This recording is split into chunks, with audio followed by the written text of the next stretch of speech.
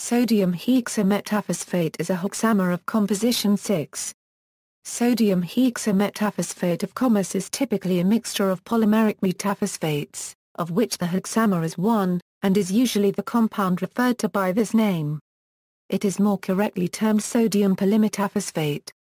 Uses SHMP is used as a sequestrant and has applications within a wide variety of industries including as a food additive in which it is used under the E number E452I.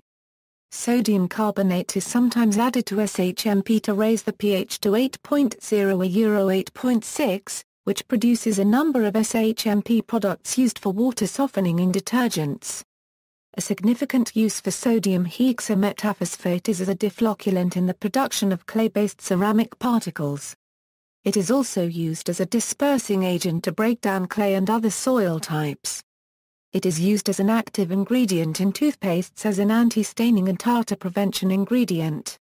Equals food additive equals, artificial maple syrup, canned milk, cheese powders and dips, imitation cheese, whip topping, packaged egg whites, roast beef, fish fillets, fruit jelly, frozen desserts, salad dressing, herring, breakfast cereal ice cream, beer, and bottled beverages, among other foods, can contain sodium hexametaphosphate.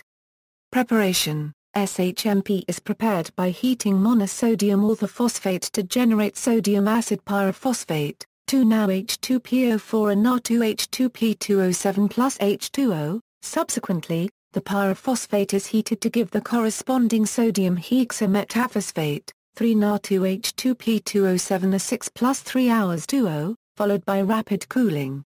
Reactions SHMP hydrolyzes an aqueous solution, particularly under acidic conditions, to sodium trimetaphosphate and sodium orthophosphate.